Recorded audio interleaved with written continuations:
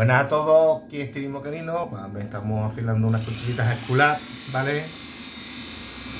Todas las cuchillas, ¿eh? Todas son comprobadas, ¿eh? Todas. Igual el largo que sea, y las compruebo a lo bruto, ¿eh? Meto caña para que yo me quede tranquilo de que la cuchilla ha sido afilada hasta el fondo. Y aprovecho esta ocasión para comentaros. Vamos a ver. En este envío particularmente he observado que todos los tornillos, o la mayoría de ellos, estaban apretados hasta la extenuación. Es decir, lo he tenido que aflojar con un alicate. ¿Vale?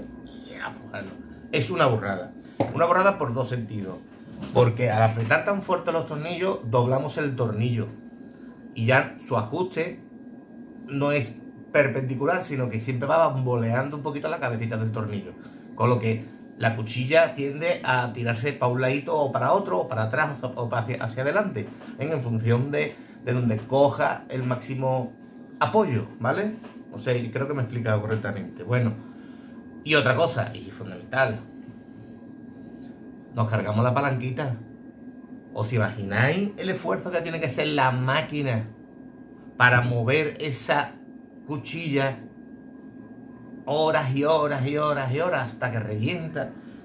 ¿Qué ocurre? En muchos casos, cuando me vienen todos los tornillos, yo le pongo una notita al, al, cliente. Oye, mira, he observado que todos tus tornillos están muy apretados.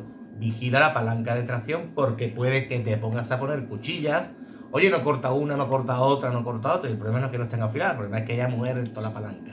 Venga, muerto. Es decir, hay un momento en el punto en que se separa un casquillo de bronce que tiene de lo que es la, palanca metálica. Una vez que esas dos piezas se separan, aunque estén juntas y bien puestas, una vez que se separa, la palanca tiene tanta holgura que pierde toda la sensibilidad, ¿vale? La cuchilla bota, porque hay holgura, bota y ya se te meten los pelos por debajo. Entonces, ojito, si me habéis mandado cuchillas que la había apurado bastante, es muy probable que tengáis que cambiar también la palanca de tracción porque en muchos casos te lleva la sorpresa de que vienen las cuchillas afiladas y tu máquina no corta. No es culpa mía.